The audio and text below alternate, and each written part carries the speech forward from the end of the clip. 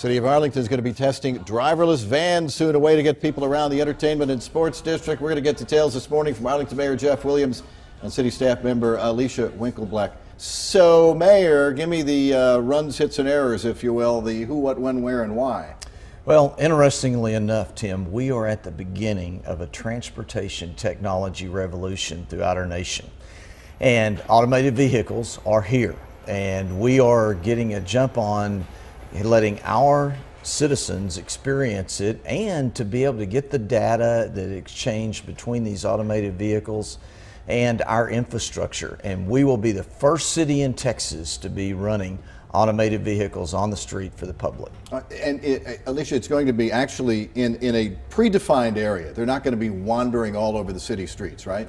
Right, so we'll have this service um, initially available in our entertainment district. So if someone wants to come enjoy a sporting event, a concert, um, they'll be able to check out the driverless vehicle for that. We'll also be offering day-to-day non-event service for someone who maybe works in the area and wants to go grab lunch. So is, is it going to be on a predetermined route or am I going to get on my smartphone and call it and this robot car will, will come and pick me up? We'll have a mix for the special events. It'll probably be more of a circulator service. Mm -hmm. But if you're using it on a non-event day, there'll actually be a free app that you can download from Drive AI. Um, and then you request your ride and a driverless vehicle will come pick you up. This is the same company that is doing this in Frisco inside the confines of a business park to kind of get cars off the streets, particularly during the middle of the day when somebody's going from one office building to another, right? Exactly, and uh, here is the opportunity. We, we started with our first generation automated vehicle that was running through uh, our trails and parking lots there, and we were the first city in the United States to do that. And you may remember in January we did, launched a technology-based rideshare program that has been extremely successful, and that is with VIA. Now we're entering into this next phase of Drive AI.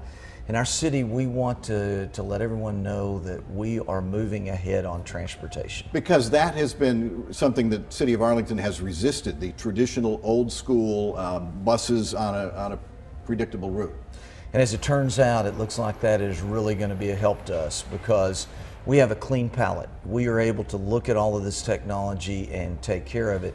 And this is the exciting thing, Tim it's cheaper and safer, and that's very exciting. Rather than putting an entire fleet of buses or trains or whatever on the streets. How much is it going to cost me to catch one of these rides? It will be free. It really will be. It so, will be a free ride. And, and where's the money come from? That's his job, but I'm going to ask you.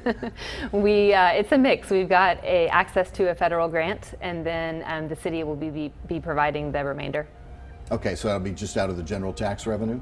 It is, uh, but it's uh, amazingly cost effective uh, there. And of course, the difference between spending $50 million a mile for light rail mm -hmm. and spending a few hundred thousand here to be able to, to have this kind of convenient service is so key. You don't have to worry about that first mile to get to the bus station or mm-hmm. train station.